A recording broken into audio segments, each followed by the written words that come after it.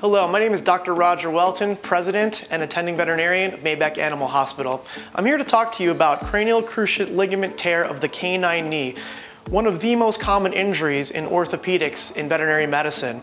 We, it's so common that we actually see one of these probably on a weekly basis in this clinic. The canine knee is extremely important and you can see the conformation of the dog.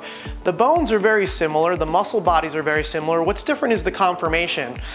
Dogs essentially will stand on their tippy toes. These are their heels up in the air. Here's the knees. They are crouched forward. So if you want to sort of mimic their posture, you can go on your tippy toes, lean forward, and you can feel the stress that that puts on the knees. So while this conformation is great for quick burst speed and pack hunting, it can be very problematic being on the tippy toes and always engaging these muscles because it will stress the knee if it's injured and unstable. So this is an overview of the canine knee. I'm gonna blow it up for you here with this particular model. Uh, this is a bigger version of it and has more detailed anatomy. So I'm gonna bring this right down here to just kind of compare. It's just a larger version of what you're seeing on the model. And what we have here is this great big tendon called the patellar tendon. It runs over the patella or kneecap. And we're gonna just show you the patella right there. I'm gonna put that down. And we're gonna turn this model and show you the inside of the knee.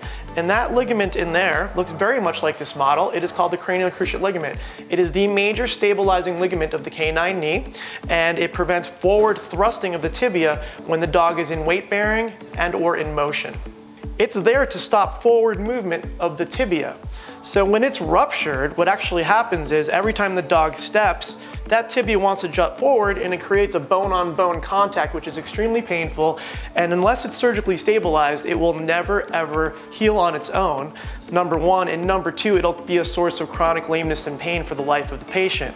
So we always say when it comes to knees, when it's unstable, the dog needs to go to the table.